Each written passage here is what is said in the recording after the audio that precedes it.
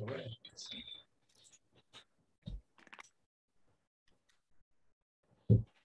Well, uh, ring ring. Well, just so you know, I'm also recording with a new little camera. What's that? It's a little vlogger. I'm I'm vlogging my negotiations. Uh, ended up getting Ah. upgrade at the hotel. Believe it or not. That's cool. All right, ring. Uh, it's no ring ring. Uh, I- I'm on the Zoom. All right, I'm logged in. I just jumped on the Zoom.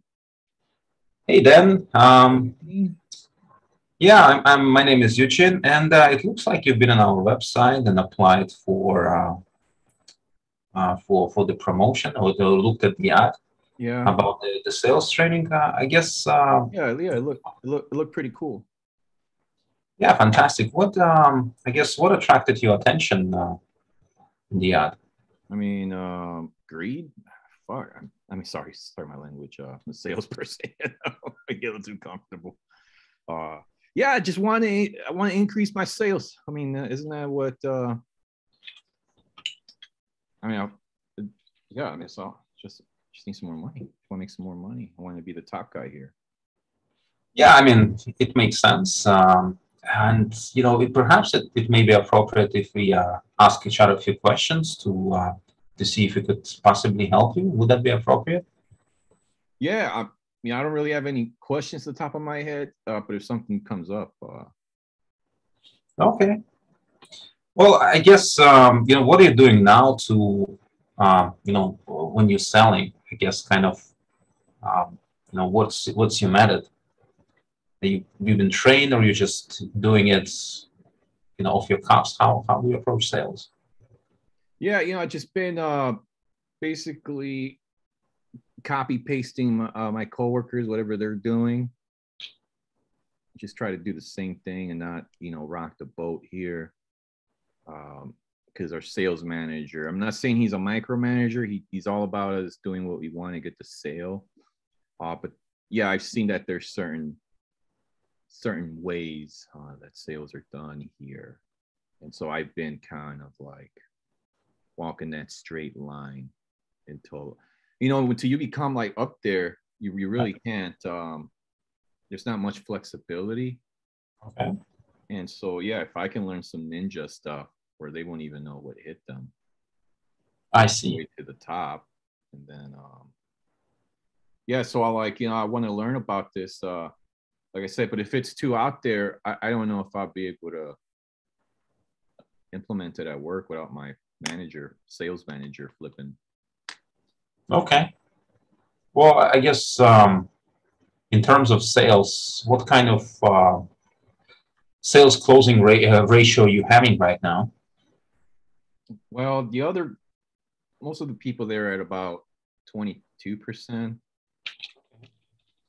um, which is, you know, that's pretty good. I mean, dang. I'm like 85%. Sorry, you're five. Five is still good. Five is five is the average. Uh, you know, five to 15 is average. Uh, and then where you want to be at, where you you know you feel there's no worry about being let go in the safe zone. If you're in the 20 to 20, uh, anything above a 20 percent ratio, you're you're golden here. All right. Oh, okay. Well, I, I guess um, you know you you you got five percent closing rate uh, right now. Um, do you uh On a bad month, on a bad month, uh, good Bad month, month. I can do 10, 12. okay? It just depends on my mood. You, know, it's a, a lot of a lot of these sales stuff depends on uh, on how you're feeling. You know, uh, did you have a good breakfast? Did you have coffee? You know, like all these. I, you know, I, I do the I try to do the, the five minute medit mindfulness thing. You know, uh, yeah. So on a good month, when I'm feeling in the zone, I can do 10, 15. Okay. Okay, that's that's not a problem. And the, how long have you uh have you been uh, involved in sales? Gosh, I probably like 13 years, on on and off part time, for majority. You know, going through college, and now in the last two years, I've been full time.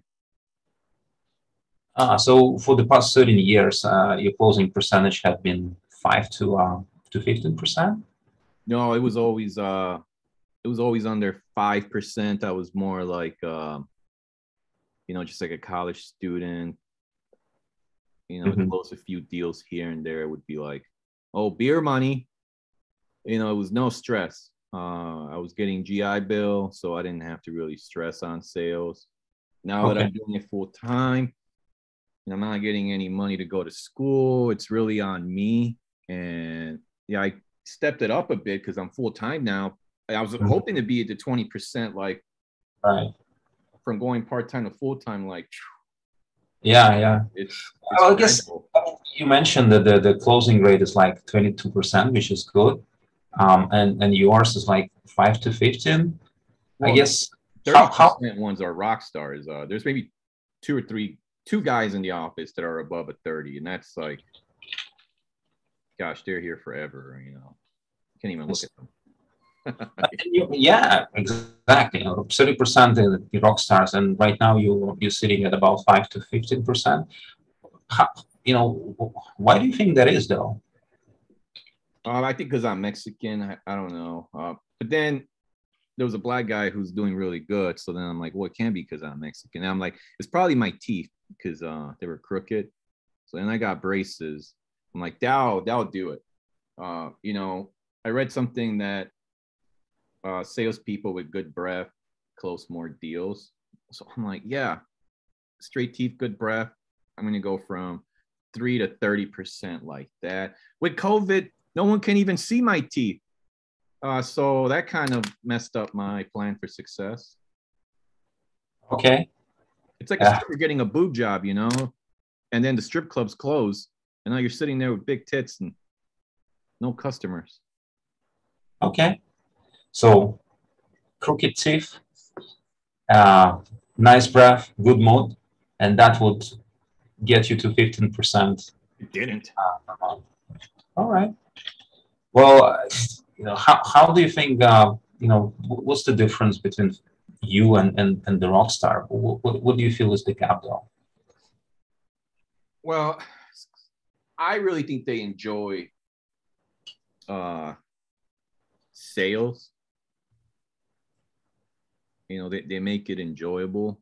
Whereas for me, it's like, you know, I just I just got to make some money.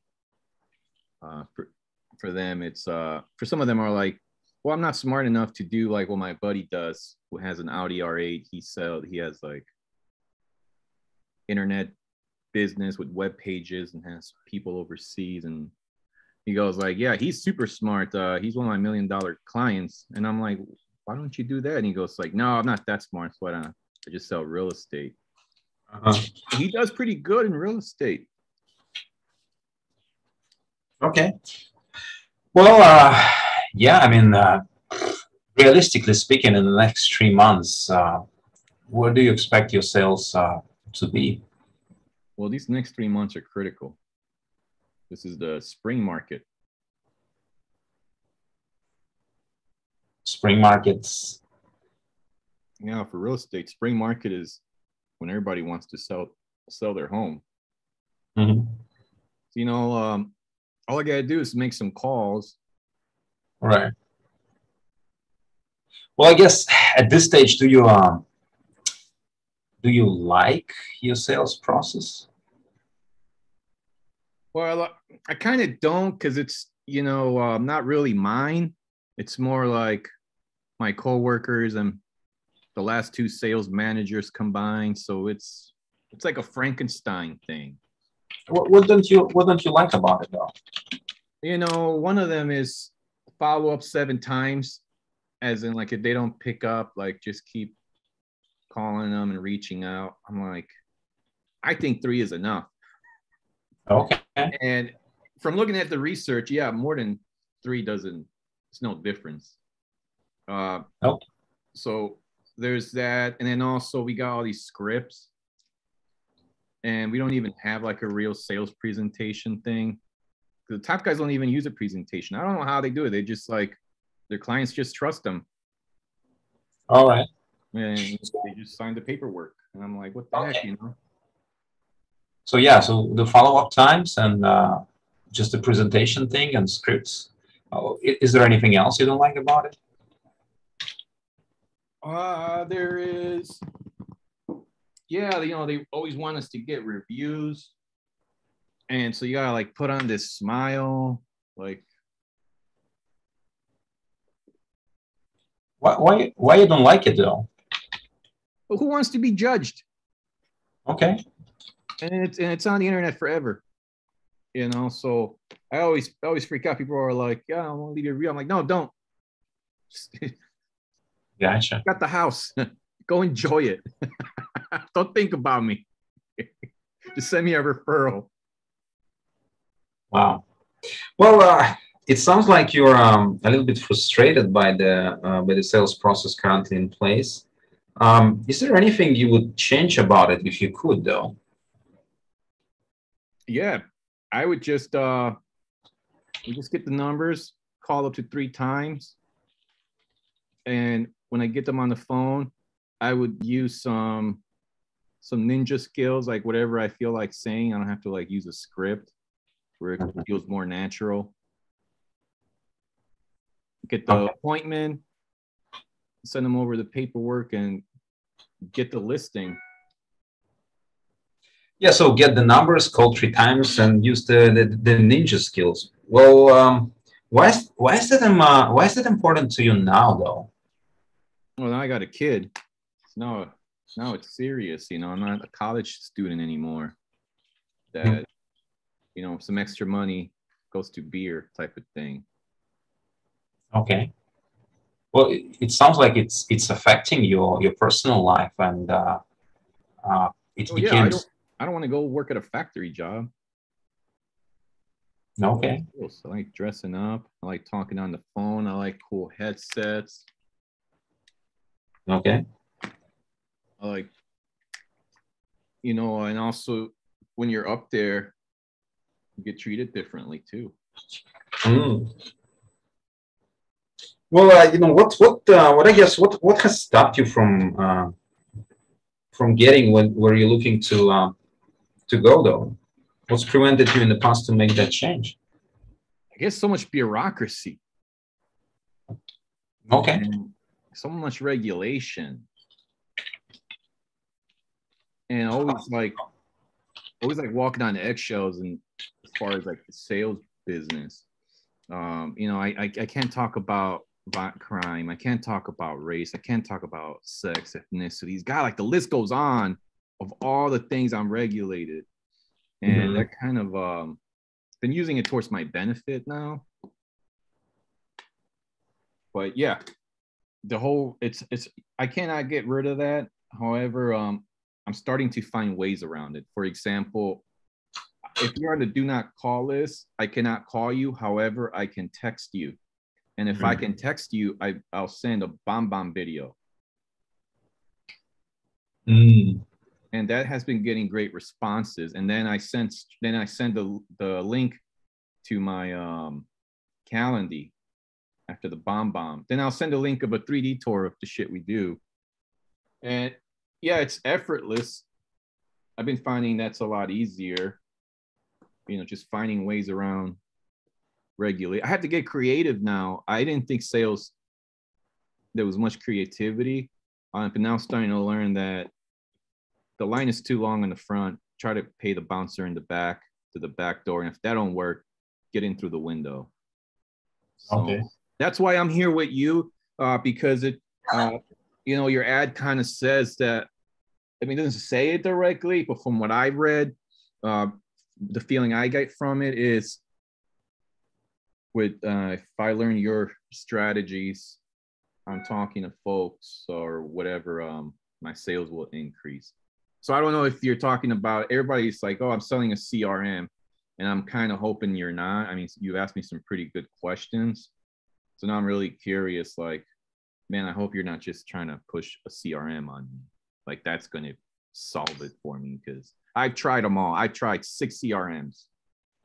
Yeah, I mean, it seems like it's important uh, to you to bring CRM up, and we can definitely talk about this a little bit later. And before we do that, um, you know, in regards to to sales process, have you been um, have you been out there looking for anything that would uh, get you to like twenty to thirty percent closing rate? Oh, it makes my palms sweaty thinking and saying it. Um, just make more calls.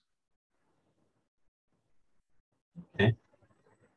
More natural, I mean more organic sounding. Um, know when to close. I think Mhm. I've been told sometimes I try to close too fast or it took forever to, I should have closed it a mile ago. Uh, so knowing when to close it.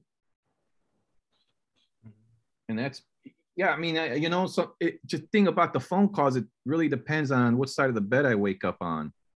Really depends on what I ate. Depends on what time I went to bed last night. I mean, there's about like 20 factors that'll determine if today is a day for 50 phone calls or five phone calls. you know, Right, right. I'm not in control of those factors. Well, that's that's interesting, and um, you know, like, I guess, how do you see the benefits of uh, you actually solving this problem so that you can get to twenty to thirty percent closing rate?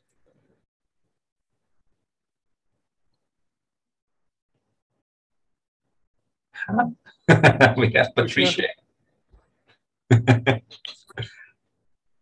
Yeah, I, I put it on NOD. See if anybody wants to join us. You know, more the more Okay. brains and ears, the better. Yeah, then so I guess uh, how do you see the benefits of you actually solving this problem? The benefit, uh, clearly more money and more respect at the end. Okay, more money, more respect. What, what would it do for you personally? Will make me a great father, husband, brother, Okay, as a provider. so I guess what's uh, what's preventing you from changing the situation? Well, that means I'll have to work more. That's more time away. So I will be exchanging time with my newborn with time with probably people I don't really enjoy being around for money. So it's kind of like a conundrum, you know? I'm to go spend more time with strangers to make more money so I can spend more time with my, but then all my time was spent with, you know, so it's like a, it's like a catch 22 there. And so I think for me personally, uh, would be to focus ideally uh, if you're not purchasing something over a million dollars, it's going to be you're going to be tougher to finance. So it's going to be more work uh, and less money. And so last year, I did do top producer for rentals, not not that big of a payout. And this year, I'm like, you know, I worked a lot, and okay, like pay wasn't nothing to write home about. So I told Right. the broker, I'm like, hey, look, I'm fo- I'm shifting. Stop giving me these these rental clients. I, I don't want to. I don't want to look at one if they're not buying something over a million or selling something over a million. Don't run it by me. And if you're not giving me more, I'll find somewhere that gives it. Like I'm, I'm not, I'm not playing around. Yeah, I already closed almost a million dollar transaction just this month. So they uh they know this guy's not messing around. Mm. Well, it, it, it, it sounds like uh, if you achieve this uh, closing rates to 30%, it might mean that you're going to be away from your kid and, and from your family uh, making money. Um, Right. So what I'm thinking maybe if the uh the five percent I'm closing now, if if I just um if they become more valuable clients, they can equal to 30, 40 percent. So it's not just the percentage, but what they really, really at the end of the day care about is um closing amount. Mhm. That's what really matters. Uh, the percentage wise, okay. So what if? So what if you close seventy percent? That guy next to you made triple what you made, and he only closed ten percent. Well, yeah, it's it can be kind of embarrassing being the guy that closes seventy percent and makes less than this guy closing five percent. okay. Well, I guess Kind of. Realistically in the next like three six months uh, how many um, how many sales are you you know looking to make realistically? Well what i did this month uh, times three every month. I'm comfortable with uh, the higher end stuff now. And i already got another one lined up from my boss. Um, so you you know you tripling your uh, your sales in the next three to six months. I mean, how how how how how would your life look different than it is right now? Oh, way better. Um, way better? Because uh, you know, with kids, just random things come up, and I don't want to have to check the bank account. Yeah, yeah. Want to take care of it right then and there, and you know, it, it kind of concerns me uh, when I look at my coworkers is like, should they all have a baby to uh, really step on the gas like I am? Because I feel like I'm stepping on that gas hard, and I'm seeing it. And then you know, I saw your ad. I'm like, well, if, if that can augment what I'm doing, why not? Mm-hmm. and I kind of still don't know what what it is that you do. Um, ask me all these great questions. Like, are you trying to, are you selling the CRM or uh, what, like the oversee assistant thing? Are you trying to get me to buy an oversee assistant? Oh yeah, thank you. Uh, thank you for action. Well, uh, for asking. Well, you know how um, a lot of sales professionals are struggling to uh, uh, to reach their goal and their potential. And uh, what we do really is we help people like that um, you know increase the closing percentage. And um, uh, you know the the, uh, the clients get the higher caliber clients so you can get uh, so they can get more revenue. And yeah i mean uh, then uh, you know i kind of i kind of hate to ask you this because we're having a nice conversation here. Yeah. Uh, but what if you do what if you don't do anything about this problem and your situation gets even worse? Then, like I said earlier, I don't know if you were listening to me. I will go, I'll have to end up working at a factory job or a cab driver or some shit like that. I, I don't, okay. Like, yeah, I, it'll pain me to be driving a cab or at a factory knowing that I could have made three hundred thousand dollars if I would have just picked up the phone more. If I would have just said, you know what, who gives a fuck what my mood is today? I'm just gonna make those calls. But reality, Eugene, like man, sometimes life just knows how to put you between a rock and a hard place and say, yeah, ooh, I got to tend to that, or else uh, I won't feel good and I won't make good calls. My client will hear you know that come out of my you know what i mean? I start making all these stories up that make sense. Uh-huh. Yeah it makes sense uh, i'm fighting those inner stories excuses every every day. Well yeah it, it sounds like there is no uh, way you're going to go back to the factory job. So time for a change possibly? Yeah i mean it can happen. Uh, I came pretty close and that tax bill came. Ooh. yeah well, I guess how, how important is it for you uh, to change your situation uh, and start uh, and start uh, you know getting or tripling your sales in the next three months? Well, that, that's happening now. You know, I'm already I'm already tripling from last year. Just worry that I might trip on my own shoelaces. So if you think there's anything I need to do to tighten up those shoelaces, yeah, I'm all ears. I mean, everybody tells me good things, you know, uh, like, oh, stay positive, this and that. Then I'm like, yeah, but you're not really looking at my shoelaces if they're tight. Let's wrap it up here then, uh, because we're kind of all over the place right now. Since yeah. it's a it's a, a mock scenario and so on. Um, it's it's it's a little bit hard to aim for specific things because um, you know you have to make up a lot of things. It's not a real not a real scenario, and these questions are kind of deep. Um, yeah, I guess how did you um how did you feel going through the process? It, that was uh, it's pretty cool because it had me really curious on what you do, and you know you deflected it. Pro you deflected it nice, and continued exploring more about me, which you know that's everybody's favorite radio station, right? WTTI. And so I wanted to reciprocate, and, and you know, I was like, "What what do you do?" I'm like, "Oh wait, probably going to sell me a CRM, probably going to sell me a overseas admin." That's what every call has been about. And and then I think uh, the aha moment, and I wrote it down, is um, actually if that if that was part of your call, that would have been cool. Where you said, "You know what? It seems like we're all over the place here." Um, it triggered a thought. I was like, "Oh, yeah, you know what? I, I need an accountability coach. I am all over the place. I need somebody to keep me in one place, succeed, and then say, all right, time to go to the next phase, the next place.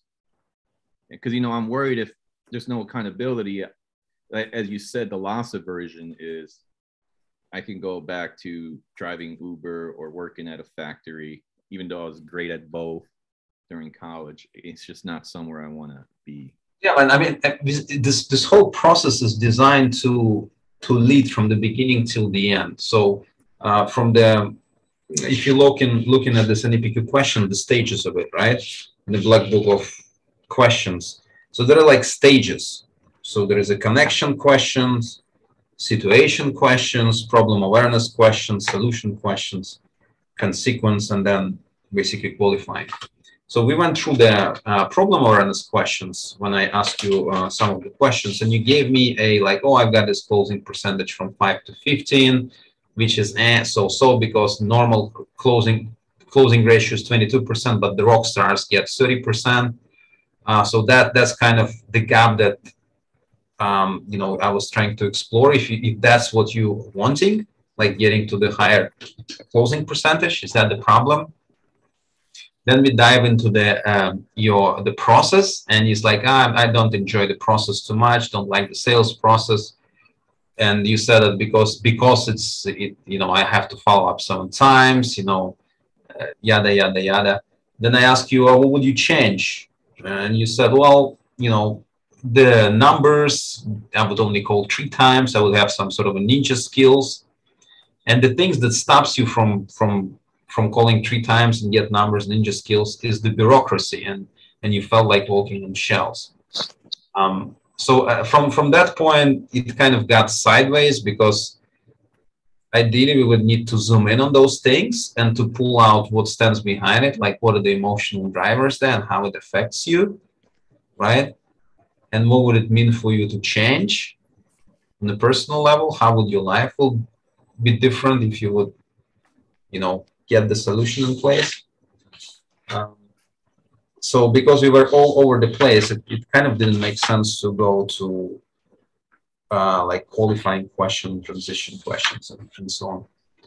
Uh, so I think that was pretty cool, especially exploring the problem uh, problem awareness questions and um, solution awareness questions. See what I just uh, uploaded there. Uh, we can talk about that in a sec. Patricia Hey, is your mic on?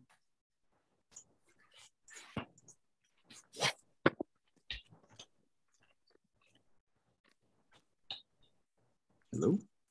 Hello, can you hear me? Yeah. Hey, good morning. I'm listening. What you think? I I think I came in a few minutes late. What was the what was the premise? What was the scenario? Or is this real life?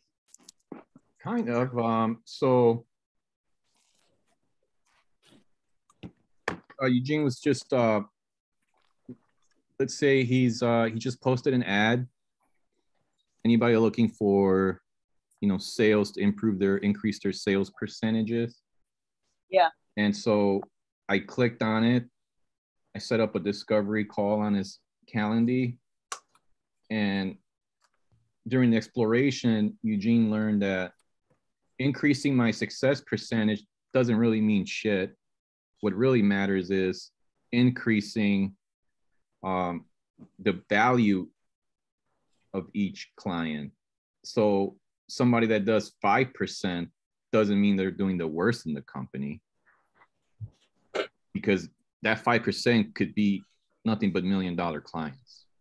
Right. And my 20% could be nothing but $100,000 clients. Right. Uh, so, so yeah, in, in a way, it was kind of interesting. Uh, it's like he he wanted to sell the higher conversion. I'm like, he discovered that through these questions, uh, the methods of asking all these exploration questions, that that's probably it got all over the place because uh, you you didn't want to close on that because it's not. It threw him off a bit, but then again, towards the end, from all those exploration questions, you know, I was like trying to figure out what he does, and then during that process, him trying to figure out where I'm at and what I've done, I came to my own solution, which would be, I think, what I need is an accountability coach. Um, Yeah. So then, you- so then Eugene didn't like continue, he didn't try to close anything with you because along, along the way, he realized you probably wouldn't be a good fit. yeah, Yeah, so the whole, increasing my percentage won't really do anything to my bank account. Right. Got it.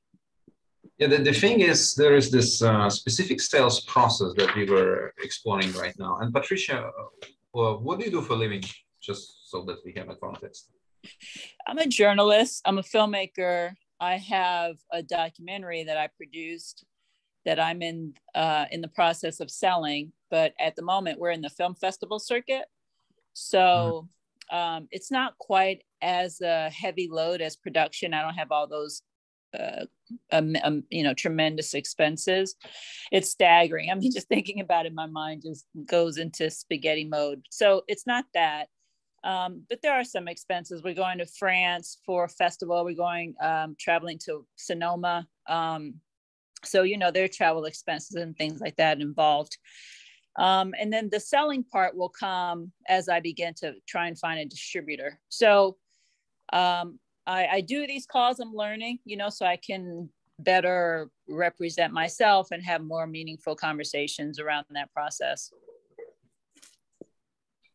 Yeah, so th- this process that we explored, it's um, it's basically a sales process or sales framework. And within the sales framework, you're not really pushing a product or a sale. You kind of um, you constantly qualifying. You see if there is a sale to be made at all, and through the specific framework, you guiding a person through stages. So first of all, you have to figure out what is the situation like, what is the situation that they're facing, what are they doing now to, in this case, to get sales through the doors, what are they not doing? The, then it's a problem awareness, like how aware are they about the problems and what kind of impact it has on that person or on their team, right? Yeah, yeah. Why, yeah, and why do you, do they think that is? Why does why why why this problem is is there in the first place? once this is explored and um, the whole premise of this and you, you know this patricia you're very very experienced in negotiation we don't we don't make decisions based on logic we, we make decisions emotionally Right.